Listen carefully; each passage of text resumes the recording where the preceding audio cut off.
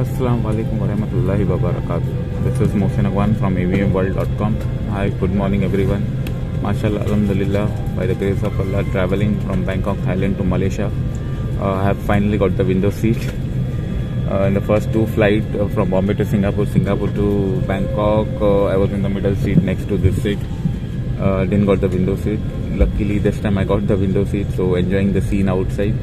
Uh, this is the DMK airport finally. Always getting a seat near this wings. I don't know why. This is the second or third or fourth flight I got a window seat, but with the wings. I don't know why. After selection also it gives automatic and whatever it is. Chalo, by the grace of Allah, Alhamdulillah, at least I got a window seat.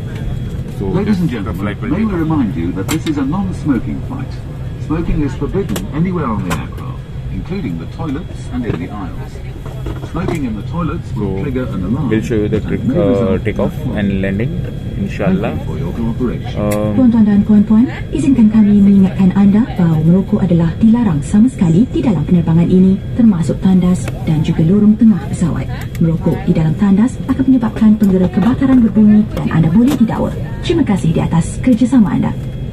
Saya pun kan? request you to visit my website avpulse.com w-o-r-l-d-s.com uh, youtube channel uh, facebook page instagram twitter youtube uh, and even visit my website leave your comment feedback share like subscribe hit the bell icon. Uh, okay. Goodbye. See you soon in malaysia